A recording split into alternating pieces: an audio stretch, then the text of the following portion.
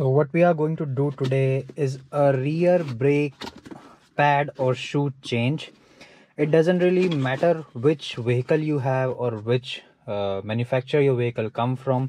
If you have a set of rear drum brake shoes or pads, the process is going to be same.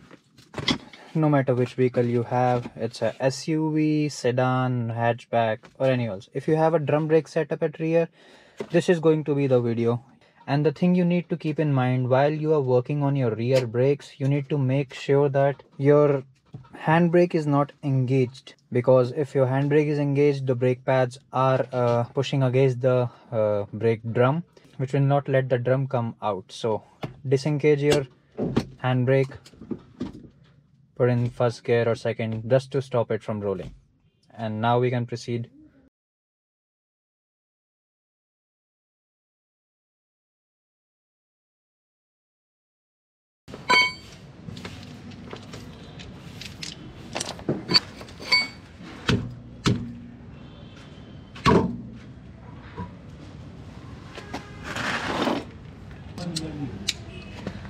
you also need a T30 screwdriver to remove the security screw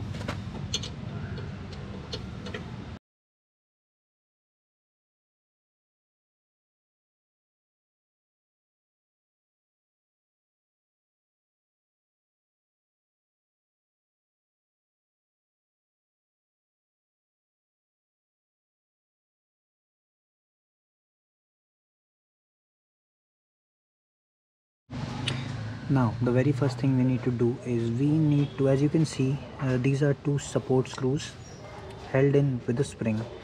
And as you can see there's only one way out to remove this thing. You need to rotate this center to align with the hole. So by using a needle nose plier or a parrot plier whatever you have you have to do this and one on this side and then the brake pads will come loose from their places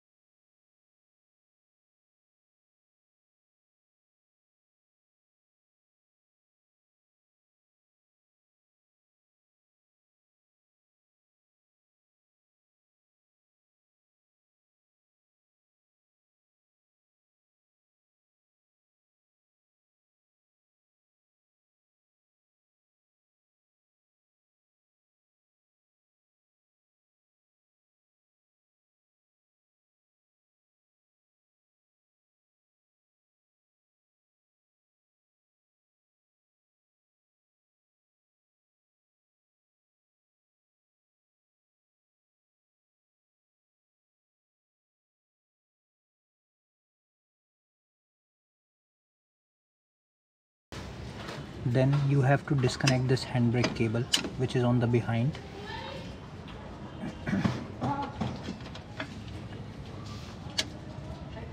By just pushing it back.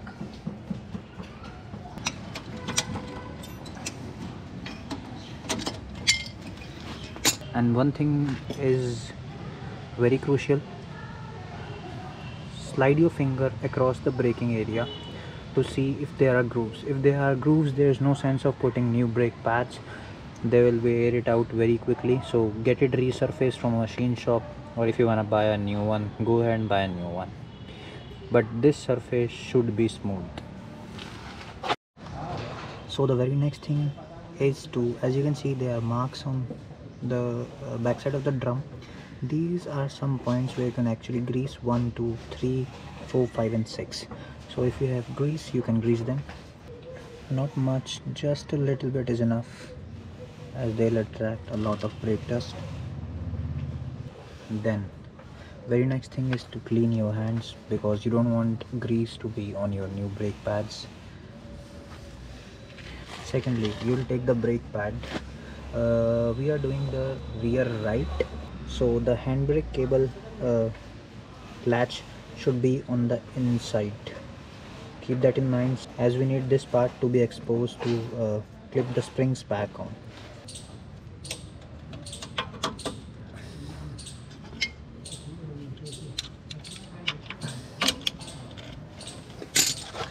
Handbrake cable flipped now we have to place this brake pad on its initial position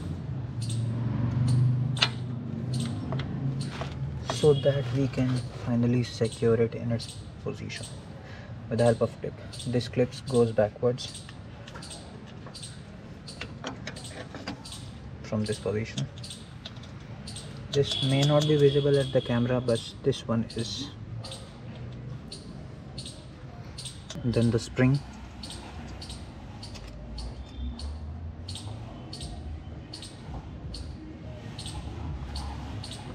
Then another one opposite direction then a plier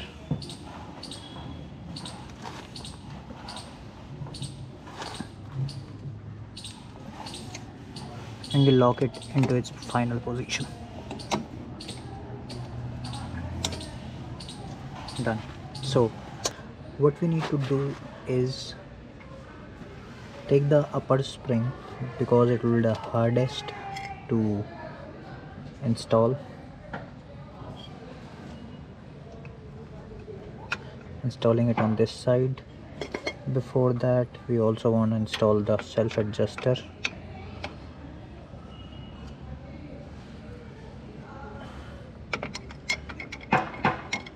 then we want to use this self adjuster as a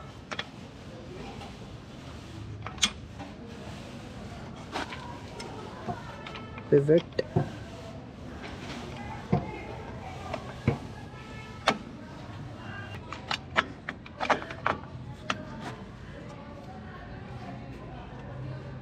yeah. Actually we need to install the pin. Here's the pin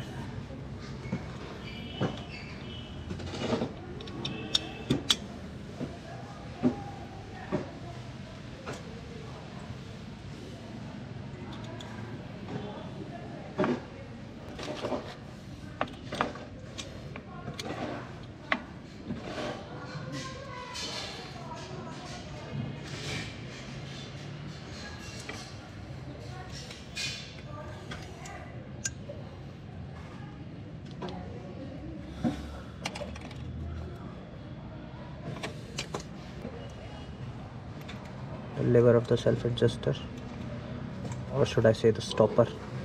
It stops it from going backwards. Now the next thing is this small spring.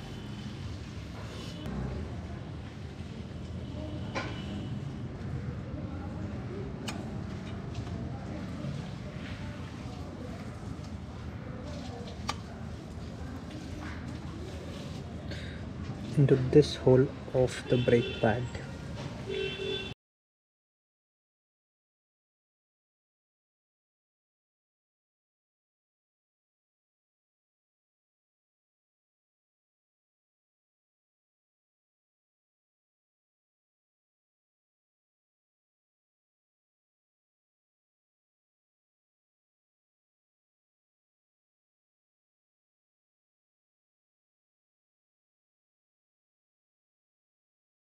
so this is the way how we uh, change the rear brake pads and drums on a any car which has a drum brake setup on the rear.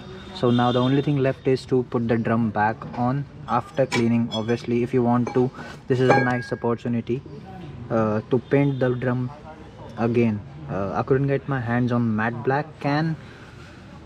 Only glossy black was available. That's that's the reason why i'm leaving at this point of time this thing I'll get back to it as soon as possible